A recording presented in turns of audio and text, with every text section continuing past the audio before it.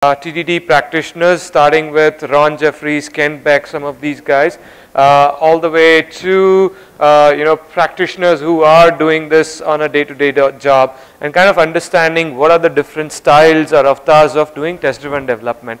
And this is a workshop, so I'm going to give you just a quick introduction and then you guys are going to be actually uh, taking different problems and seeing how you would apply test driven development how what is the first test you would write what's the thought process that goes through and that's that's what we are going to try and do in this workshop. While building products there are two very important questions that one needs to understand. One is are we building the product right? Right? Are we building the product right? Which is more of a business facing question and the second one is are we building the right product? Sorry, the other way around. Are we building the right product which is more of a business facing question and are we building the product right which is more of an implementation slash technology facing question, right? Why is this important?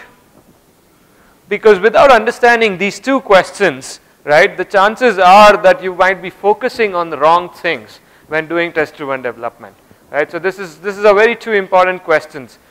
Brian Marick, who's one of the leading agile testing guru and also the author, one of the authors of the Agile Manifesto, basically came up with this categorization of tests to help people understand which test fits into which quadrant and what's the purpose of the test.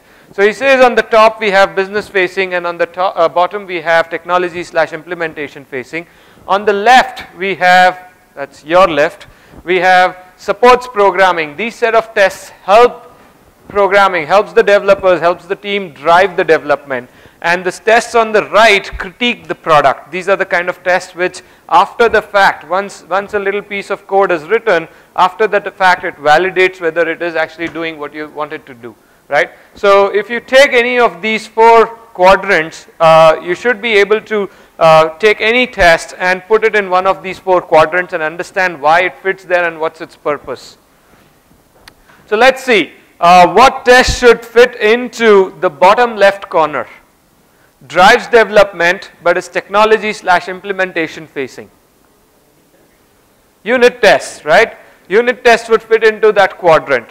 What are the kind of tests that would fit into the quadrant above that, which is business facing and drives development. These are the kind of things that will help you drive your development. These are the kind of things that will tell you what needs to be done and whether you're doing it, whether you're building the right product.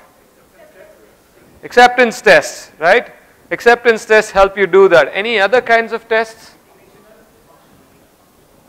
There is no such thing called functional